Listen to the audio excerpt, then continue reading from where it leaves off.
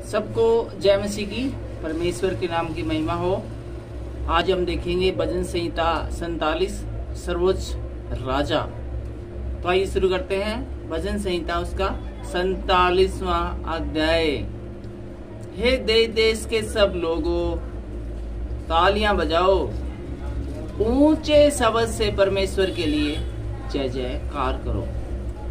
तो यहाँ पर जो इस भजन संहिता का लेखक है, वो देश देश के समस्त लोगों से कह रहा है कि वो तालियाँ बजाएँ। तालियाँ मतलब आनंद से भरपूर होना। तालियाँ कब बजाते हैं? जब हम आनंद से भरपूर होते हैं। और ऊँचे सवर से परमेश्वर की जय जयकार करो। लेखक कहता कि तालियाँ बजाते हुए बड़ी खुशी और हर्षो उल्लास के साथ आपके जो अंदर है, जो आनंद है, उसको बाहर निकालो। और जब अंदर का आनंद बाहर प्रकट होगा तो इंसान तालियाँ बजाता है खुशी के मारे। और लेखक हमें यही पहली आयत में है, बता रहा है। और इसके बाद हम देखते हैं दूसरी आयत। और दूसरी आयत हमें बताती है, क्योंकि यह परम प्रधान और भय योग्य है। परम प्रधान मतलब जो प्रधान है, जो ऊँचे पद वाले हैं, जैसे मुख्यमंत्री, प्रधानमंत्री, राष्ट्रपति, उनसे भी बड़ा है, उनका भी परमेश्वर है और भय योग्य है। एक ऐसा परमेश्वर है जिसका कि हमें भय मानना चाहिए, जिसका आदर, मान, सम्मान करना चाहिए। वह सारी पृथ्वी के ऊपर महाराज है। पूरी पृथ्वी के ऊपर वो महाराज है, अर्थात बोस है। सबसे बड़ा बोस इस दुनिया का परमेश्वर है। यह हुआ परमेश्वर है। तीसरी आयत में लिखा है, वह देश देश के लोगों को हमारे सम्मुख नीचा करता है और पूरे देश के जो लोग हैं, उसको हमारे कदमों तले ले आता है। हमारे सम्मुख उनको नीचा करता है और जाति जाति को हमारे पाँव के नीचे कर देता है। और जितनी भी जो जातियाँ हैं, उन सबको हमारे नीचे, पाँव के नीचे कर देता है। इतना शक्तिशाली है। अर्थात, जब परमेश्वर हमारे साथ होता है तो हमें किसी भी परबल से प्रबल जाति से या प्रबल से प्रबल व्यक्ति से डरने की ज़रूरत नहीं है, क्योंकि हमारा परमेश्वर सबसे बलशाली, सबसे शक्तिशाली है, और वो हमको ऊपर उठाने के लिए, अर्थात बाकी लोगों से ऊँचा रखने के लिए हर संभव हाँ हर समय हमारी सहायता करने के लिए तत्पर रहता है, तैयार रहता है। चौथी आयत में लिखा है, वह हमारे लिए उत्तम भाग चुन लेगा, जो उसके प्रिय याकूब की घमंड के कारण है। और परमेश्वर है, वो हमारे लिए कोई लो क्वालिटी की चीज़ें हैं, वो नहीं खरीदता, बल्कि जो उच्च क्वालिटी की चीज़ें हैं, वो हमें देता है। जो भी हमें चाहिए, वो उच्च क्वालिटी का हाई ग्रेड का देता है। एज ए सपोज़ किसी को मोबाइल चाहिए तो नॉर्मल मोबाइल खरीद लेता है। लेकिन जो कोई बड़ा व्यक्ति है, वो कहेंगे, नहीं भाई नॉर्मल मोबाइल नहीं। मैं तो एप्पल का मोबाइल दूँगा। तो इसी प्रकार से हमारा परमेश्वरी हमारे लिए क्वालिटी प्रोडक्ट है, वो देता है। वो क्वालिटी चाहे हमारे जीवन में किसी भी चीज़ के लिए हो सकती है। और पांचवी आयत में लिखा है, परमेश्वर जय जयकार सहित यहोवा नरसिंह के शब्द के साथ ऊपर गया है।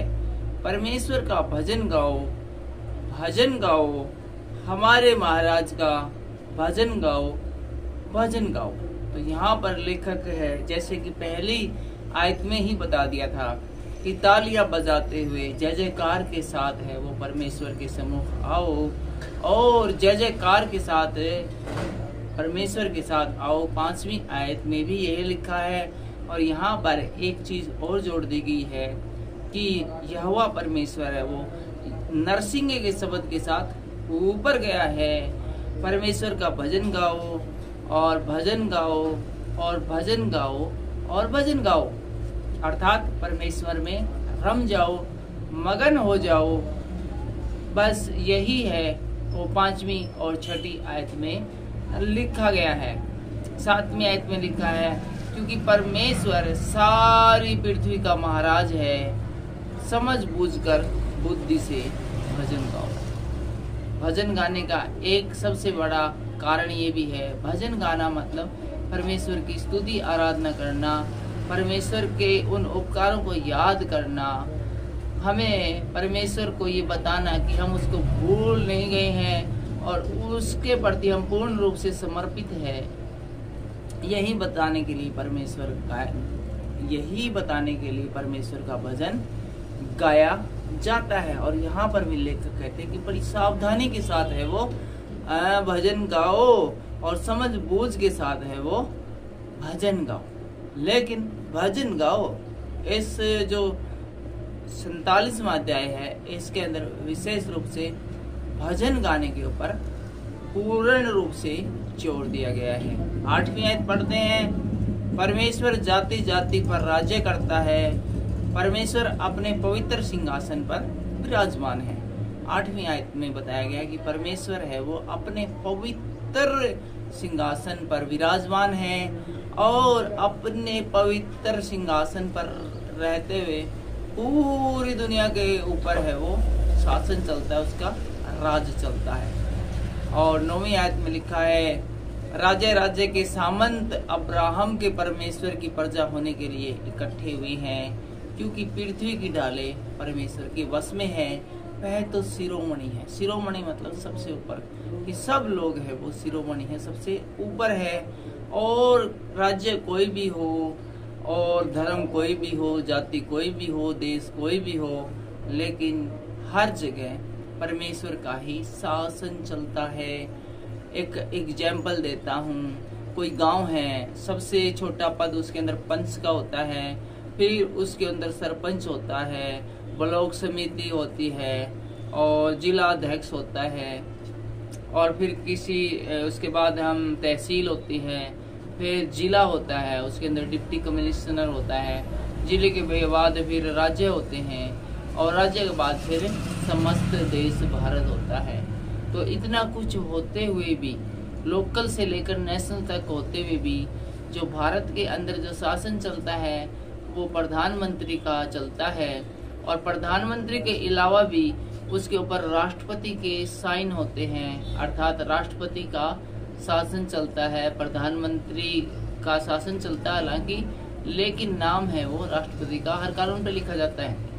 तो कोई सरपंच चाहे कितना भी शक्तिशाली हो, कोई जिला परिषद का मेंबर चाहे कितना भी शक्तिशाली हो, कोई मुख्यमंत्री चाहे सब कितना भी शक्तिशाली हो, कोई S P D S P चाहे कितना ही पावरफुल हो, इन सब के ऊपर जो शासन चलता है, वो केंद्र सरकार का चलता है। और वो जो कहेंगे, उन्हीं का जो फैसला है वो अंतिम होगा और सबके मानने के लिए ज़रूरी है। हर कोई इसको मानने के लिए बाध्य है। इसी प्रकार से देश चाहे कोई भी हो, राज्य कोई भी हो, जो सर्वोच्च शासन चलता है, वो परमेश्वर का ही चलता है, वो आदर्श है, वो देखने में नहीं आता है।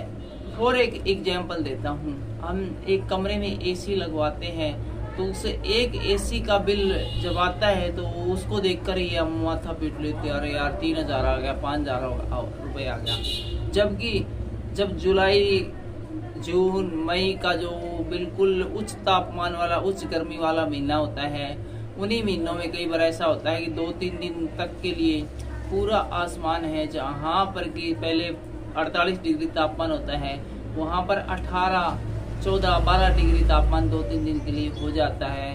अर्थात संपूर्ण देश के अंदर है वो एयर कंडीशनड वातावरण हो जाता है।